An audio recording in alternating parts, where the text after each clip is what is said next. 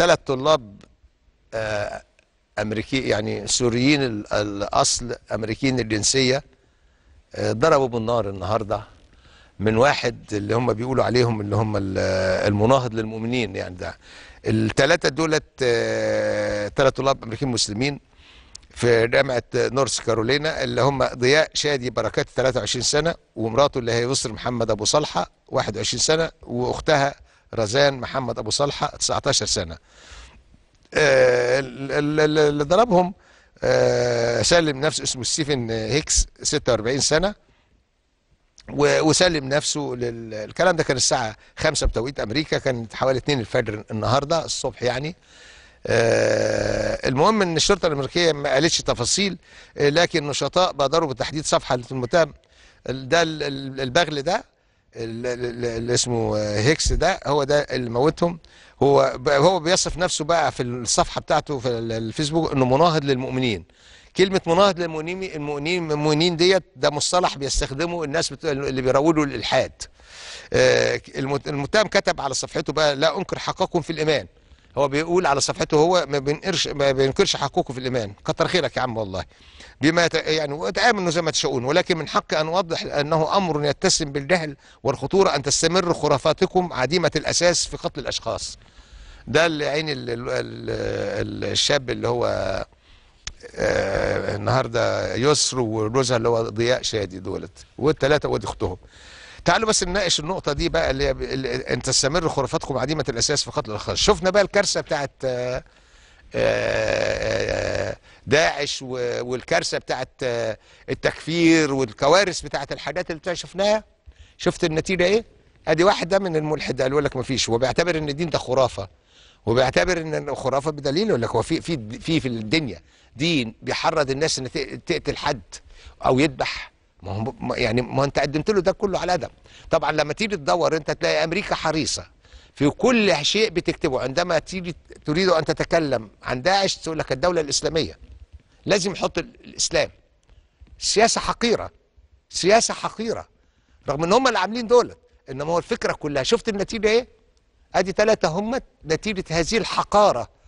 الحقارة بتاعت الناس اللي هم رافعين يافطة الإسلام من ناحية والحقارة ال- الغرب اللي هو عمل هذه الجماعات الإرهابية ومصمم على إنه في التخاطب ما يقولكش إلا كده.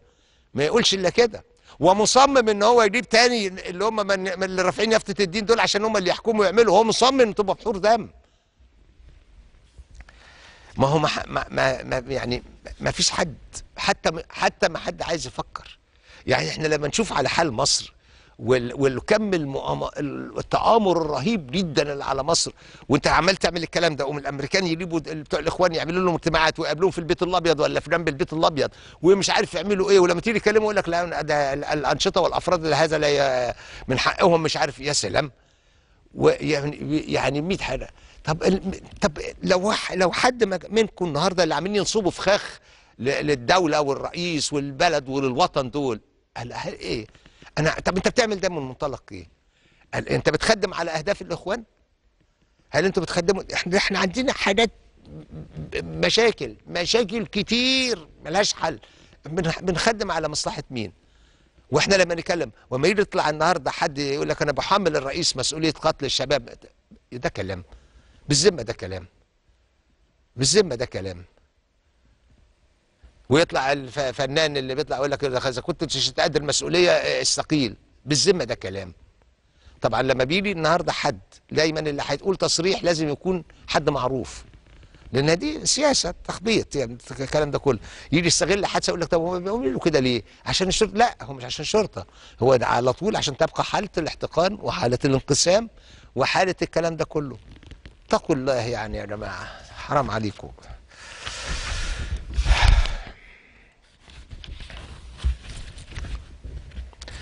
في الناصر صلاح الدين بيقول لي طلبة البنين في حالة انفلات الطلبة الأولاد يعني. حالة انفلات التعليم في المدارس عندنا منتظم أو منازل أو عمال عايزين نريح دماغنا شوية. الطالب اللي عامل مشاكل ومش غاوي علم ومدوخ اهله مع... أهله معاه وتعب المدرسين ومنع الطلبة الملتزمين إن يتعلموا الطالب ده يتحول إلى نظام انتساب زي ما بيحصل في الجامعات. الطالب يشرفنا مرة واحدة في السنة يمتحن فيها وهو حر في نفسه يتحمل مسؤوليته ونرتاح شوية من قصة إنذار الغياب وإعادة القيد واستدعاء ولي الأمر والدوشة دي كلها ونحمي الطلبة اللي عايزة تتعلم. شوف الأزهر أحواله أصبحت هادئة الآن.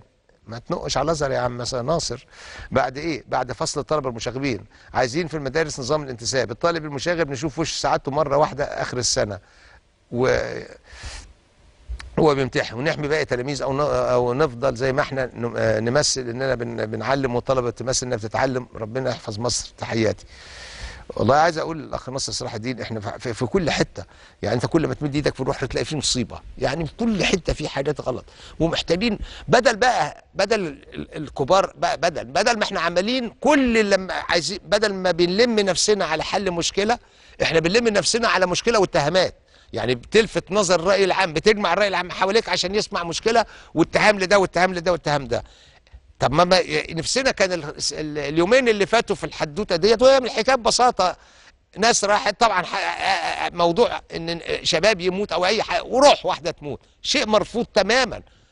إنما ما تقوليش كده على إن كده إن الشرطة. يا اخوانا كفاية على الشرطة عشان إحنا في بلاوي سودا مستنيانا. ده الجزء الأولاني. الجزء الثاني ما نشوف الموضوع كله على بعضيه. هتلاقي الناس مش عايزة تنتظم بحاجات. آه، اتح- اتحاد كورة ما قدرش تقدير سليم لتوقيت هذه المباراة. كان يجب المباراة دي ما تبقاش في اليوم ده. يعني موضوع أصلا حضور الجماهير كان لازم يعاد فيه النظر. حاجات كتيرة أدت لده. فالمسألة ما تبقاش بقى ال- ال- الشرطة الشرطة الشرطة. ده كله هيعمل إيه؟ إنك أنت بتصب إحباط. أي النهارده ظابط لما يجي طول النهار سامع ناس بتلعب سلسفين أهاليهم ويسمع في كل حاجة هو متهم. هيشتغل ليه؟ ولا دماغ ما عايزين يخشوا من غير تفتيش ما يخشوا. هتقرفونا ليه؟ مش ده اللي هيحصل هل ده اللي أنتوا عايزين توصلوا الناس ليه؟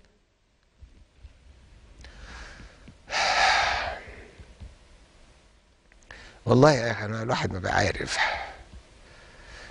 آه واحد بعت لي رسالة بيقول مصري حتى النخاع.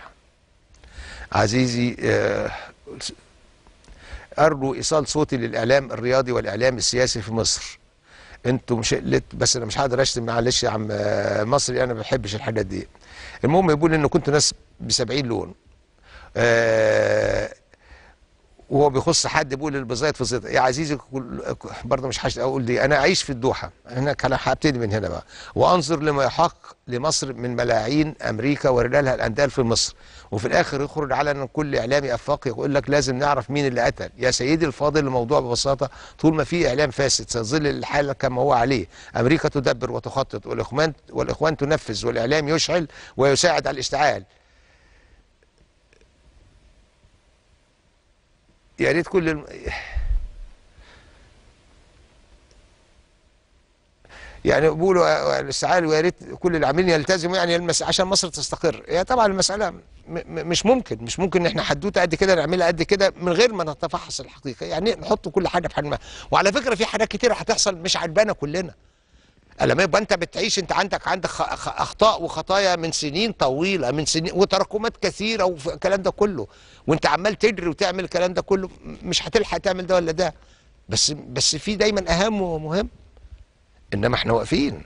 والدنيا كلها تقف. عشان ده لا. سهير آه، خليل بتقول لي إيه رأيك في بعض الإعلاميين ومذيع ال- ومذيع في مهاجمه رئيسنا وطلبهم في ترك منصبه وتطاول منهم الفز اللي خنقنا؟ والله أنا ما أنت إحنا يعني اتكلمت في ده كله. وبعدين آه، أنا أنا عايز أعرف بقى في اللي, اللي بيطالب ن- يعني اللي بيقول لك اللي مش عاجبه يمشي الكلام ده نعرف بس مين هو وعمل إيه. دايما اللي يجي يتكلم يقول له طب أنت عملت إيه لمصر؟ أنت عملت إيه لمصر؟ اللي يقول لك ده الرئيس أصلا ما عملش حاجة. الرئيس ده جاي بإجماع كاسح من المصريين وبرضا كامل المصريين. وده اللي غايز القلة ديت. انت بقى يا كابتن وانت بتتكلم سواء كنت واحد معروف أو مش معروف انت عملت إيه؟ مع نفسك مع ضميرك. انت عملت إيه لبلدك لوطنك؟ هي دي القضية. آه، ترهاني عزيز بتقول يا أستاذ إبراهيم مذيعين المباريات عاوزين آه، يقبضوا ما شبعوش ولو على حساب الدم. سليم بدر عبد العزيز بيقول أستاذ إبراهيم أعرض مشكلتي عليك. أنا من المنيا مقدم في الشرطة.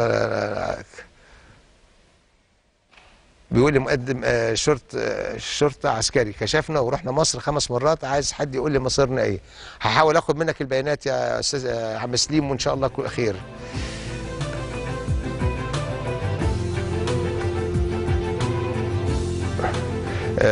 مجدي الششتاوي بيقول لي ألمانيا جميلة من فرانكفورت لدوسلدورف طقس جميل نظافة نظام quality عالية احترام المشاة أولوية للأطفال المسنين أسعار نار نار أمثلة عن الأسعار المقيمة بالجنيه المصري دخول التواليت في المحطة. 10 جنيه. تذكرة الأتوبيس داخل المدة 19 جنيه. تذكرة المترو 18 جنيه. بداية عداد التاكسي 24 جنيه. ازازه ماء مياه صغيرة 10 جنيه. المواطنون والزائرون واللاجئون كلهم ملتزمون بقوانين والسبب صرامه الشرطة في تطبيق القانون. مرحبا بكم في ألمانيا. طيب بس عشان خاطر طيب هل الم... اللي لما نيجي نتكلم ده هل كل حاجة إحنا بنرميها على فوق؟ إحنا إحنا ليه دايما بننسى أنا وأنت وهو وهي كلنا؟ هي مش سلوكياتنا. جزء من ه... يعني مش سلوكيات الشعب. جزء من المسألة. والسلوكيات هنا هو لما بيأديها لما ما بيكسرش إشارة مش عشان خائف مش المسألة مش خوف لأن هو بيحترم ده. لما بيلتزم بقانون عشان هو بقى ده بقت هو دي ال- ال- القواعد ده يقينه وقواعده. هي المسألة ثقافة وسلوكيات. إحنا في جزء إحنا مشاركين فيه وفي جزء من تراكمات قديمة وفي جزء تراها يعني المسألة كلنا شركاء يا سيدي في هذه الحاجات بس نقدر. نقدر نبقى إيه، زي ألمانيا وأحسن من ألمانيا وإن شاء الله هنكون كده بإذن الله اطلعي فصل يا سيدي